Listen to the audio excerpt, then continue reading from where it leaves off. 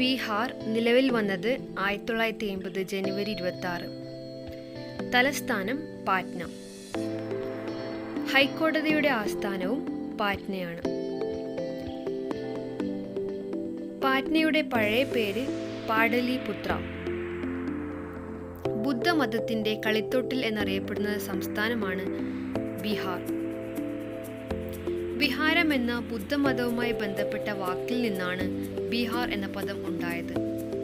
പാടലിപുത്രത്തിന്റെ സ്ഥാനത്ത് പാറ്റ്ന നഗരം സ്ഥാപിച്ചത് ഷേർഷയാണ്. ഗാന്ധിജിയുടെ ആദ്യ ഇന്ത്യൻ സത്യാഗ്രഹം ചമ്പാരൻ സത്യാഗ്രഹം നടന്നത് ബീഹാറിൽ വെച്ചാണ്. ഇന്ത്യൻ സംസ്ഥാനങ്ങളിൽ സാക്ഷരതയിൽ ഏറ്റവും പിന്നിൽ നിൽക്കുന്ന സംസ്ഥാനമാണ് ലോകത്തിലെ ഏറ്റവും വലിയ കന്നുകാലി ചന്ത നടക്കുന്ന സ്ഥലം ബീഹാറിലെ സോനാപൂർ. നളന്ദ സർവകലാശാല വിക്രമശില സർവകലാശാല എന്നിവയുടെ അവശിഷ്ടങ്ങൾ കാണപ്പെടുന്നത് ബീഹാറിലാണ്. മഹാവീരൻ നിർവാണം പ്രാപിച്ച സ്ഥലം ബീഹാറിലെ പവപുരി ബീഹാറിലെ പ്രസിദ്ധമായ ജൈനക്ഷേത്രം രാജ്ഗീർ. ബീഹാർ ഗാന്ധി എന്നറിയപ്പെടുന്നത് ഡോക്ടർ രാജേന്ദ്ര പ്രസാദ് ആണ്.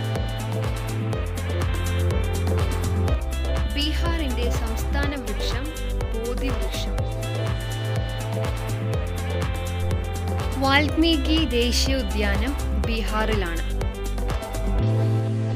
ലോക് നായക് ജയപ്രകാശ് നാരായൺ അന്താരാഷ്ട്ര വിമാനത്താവളം പാറ്റ്നയിൽ സ്ഥിതി ചെയ്യുന്നു. ബീഹാറിന്റെ ദുഃഖം എന്നറിയപ്പെടുന്നത് കോസി നദിയെയാണ്.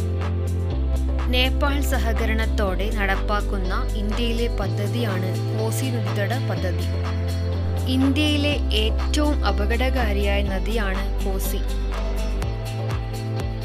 ബീഹാറിലെ ആദിവാസി സമൂഹം സാന്താൾ എന്ന പേരിൽ അറിയപ്പെടുന്നു. ബറൌണി എണ്ണ ശുദ്ധീകരണശാല ബീഹാറിലാണ്.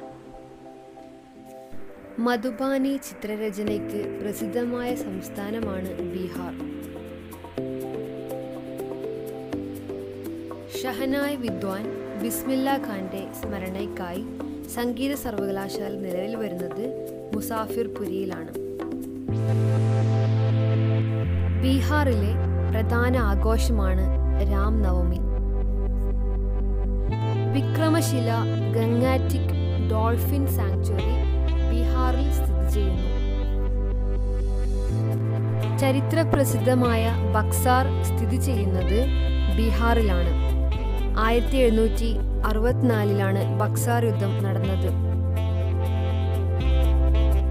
തദ്ദേശ സ്വയംഭരണ സ്ഥാപനങ്ങളിലേക്ക് അമ്പത് ശതമാനം വനിതാ സംവരണം ഏർപ്പെടുത്തിയ ആദ്യ സംസ്ഥാനമാണ് ബീഹാർ.